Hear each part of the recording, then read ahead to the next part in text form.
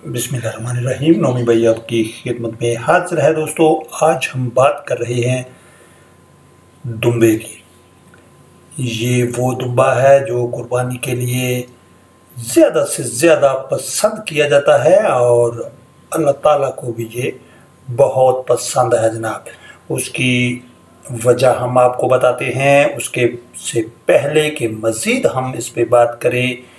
तो जनाब अभी तक आपने अगर हमारे चैनल को सब्सक्राइब नहीं किया तो काइंडली कर लीजिएगा, क्योंकि जो भी हमारी इन्फॉर्मेशन होती है, नहायत ही ज़बरदस्त और हमारे व्यूवर्स को लाइक भी करते हैं गाइस बहुत पसंद करते हैं। तो जनाब, उसके लिए थैंक यू वेरी मच कि आप हमारे चैनल को सब्सक्राइब कर रहे हैं और कमेंट्स भी कर रहे हैं लाइक करते हैं। उसके लिए थैंक यू वेरी मच हमारे चैनल का नाम है जनाब विलेजर नोमी भाई ऑफिशियल तो अभी तक आपने अगर सब्सक्राइब नहीं किया तो काइंडली कर लीजिएगा, क्योंकि हमारी जितनी भी इंफॉर्मेशन होगी, वो ऑटोमेटिक आप तक पहुँच जाएगी।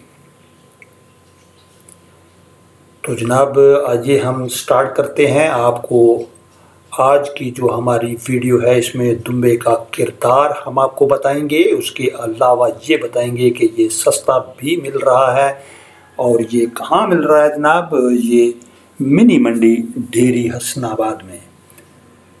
तो आइए हम आपको बताते हैं इसकी खसूसियात और मज़ीद जनाब वक्त ज़ाया किए बगैर हम आपको विज़िट करवाते हैं। जी।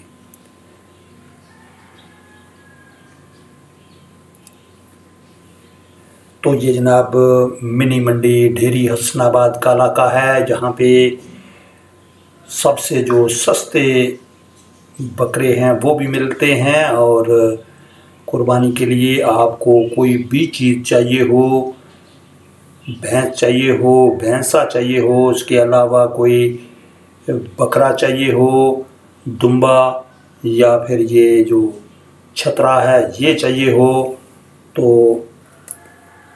यहाँ पे मिनी मंडी, हसनाबाद, ढेरी का, जो कि नज़दीक तरीन है जनाब सी एम एच रावलपिंडी के साथ, और यहाँ पे मिनी मंडी लगाई जाती है, और उसका ये फ़ायदा होता है कि एक तो आपको फ़ीस जो लिखाई पढ़ाई की है वो नहीं पड़ेगी, और सबसे बड़ी बात कि आपने जनाब अगर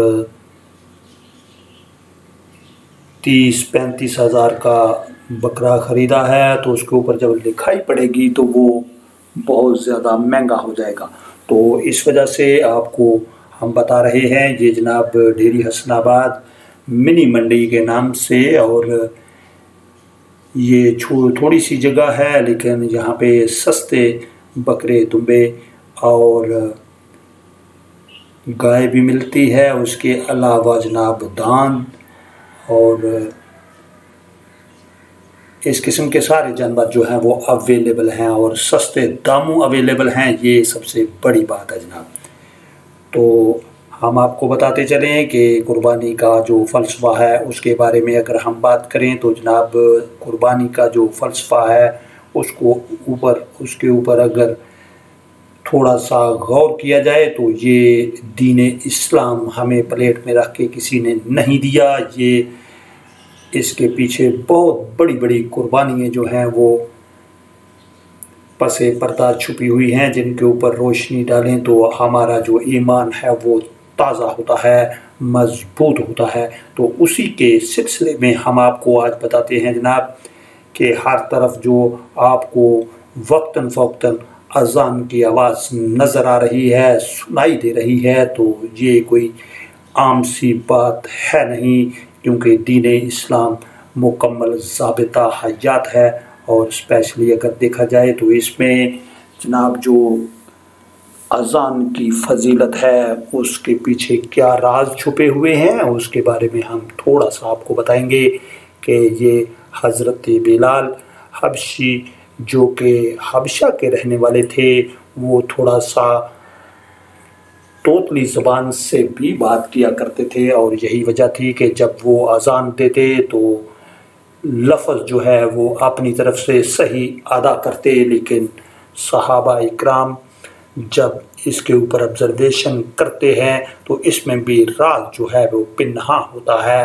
कि वो आप सल्लल्लाहु अलैहि वसल्लम के पास आते हैं और कहते हैं कि बिलाल जो है, अजान सही नहीं दे पा रहे तो आज की सुबह की अजान कोई दूसरा आदमी दे तो आप सल्लल्लाहु अलैहि वसल्लम ने फरमाया, कोई बात नहीं, आप कोई दूसरा बंदा जो है वो अजान दे दे, इसमें क्या फ़र्क है? जी तो वो जैसे ही दूसरा बंदा अजान देने लगता है तो जनाब अल्लाह ताला का उसके साथ मोहब्बत का अंदाज़ जो हम बयान नहीं कर सकते, वो ऐसे ही है कि अजान पे अजान होते जा रही है, अजान हो रही है, सुबह नहीं हो रही। तो जैसे ही सहाबा इक्राम दोबारा से आप सल्लल्लाहु अलैहि वसल्लम की खिदमत में हाज़िर होते हैं और ये दरियाफ्त करते हैं कि आज क्या बात हुई कि सुबह नहीं हो रही तो इसी असना में मेन वाइल जो जब्राइल मेन फरिश्तों के सरदार हैं, वो फ़ौर से हाज़िर होते हैं, जो कि आपको सलाम करते हैं और कहते हैं कि आपसे फरमा रहा है रब जलाल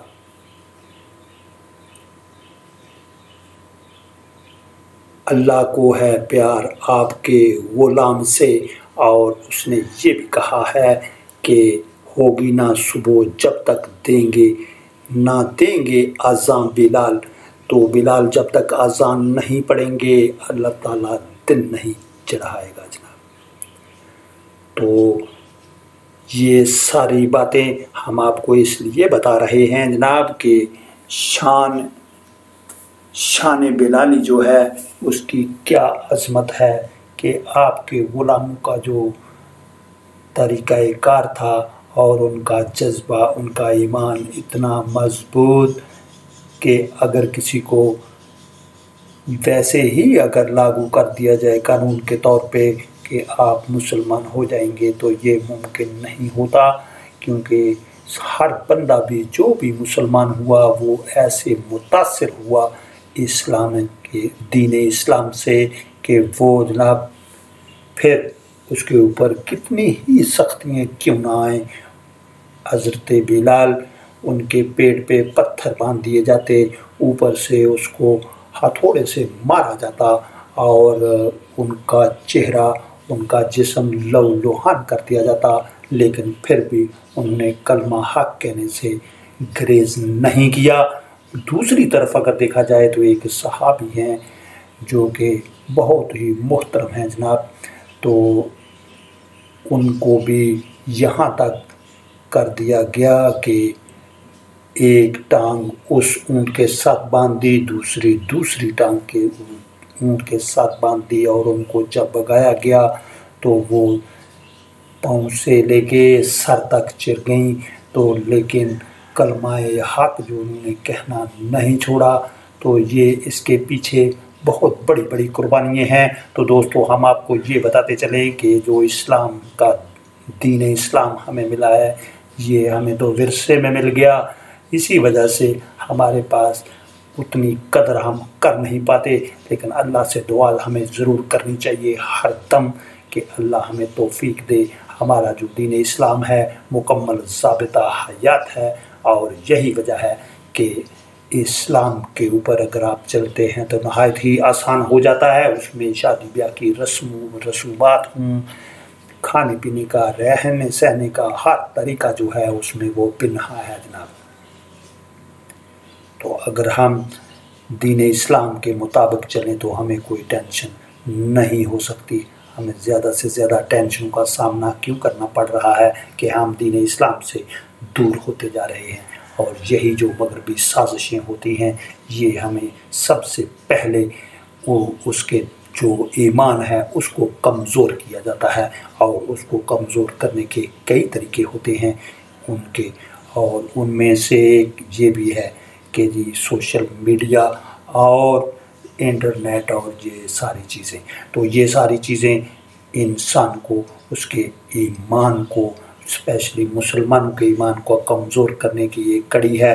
लेकिन अगर हमारा ईमान मज़बूत है तो हमारा ईमान मज़बूत होने का सबसे पहला जो तरीका है, वो सबसे पहले नमाज़ है जनाब।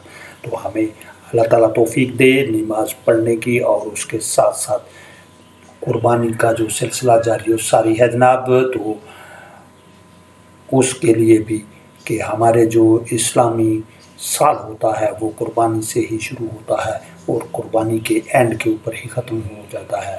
तो कुर्बानी का चूँकि दौर दौरा चल रहा है तो जनाब इसी सिलसिले में हम आपको बताते हैं कि अब कुर्बानी की ईद जो है वो चल रही है और उसके साथ साथ जो अगला महीना आएगा वो मुहर्रम हराम का होगा। सबसे बड़ी कुर्बानी उस पे के ऊपर भी हम बात करेंगे।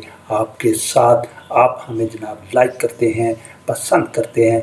एक बात हम आपको बताते चलें कि कोई भी लीवर हमें जब वो सब्सक्राइब कर देता है, वो लाइक कर देता है कमेंट कर देता है, किसी भी किस्म का कोई सवाल पूछ लेता है तो हमारा ये सेवा है, हमारा ये दस्तूर है कि हम उसके चैनल को लाजमी सब्सक्राइब करते हैं।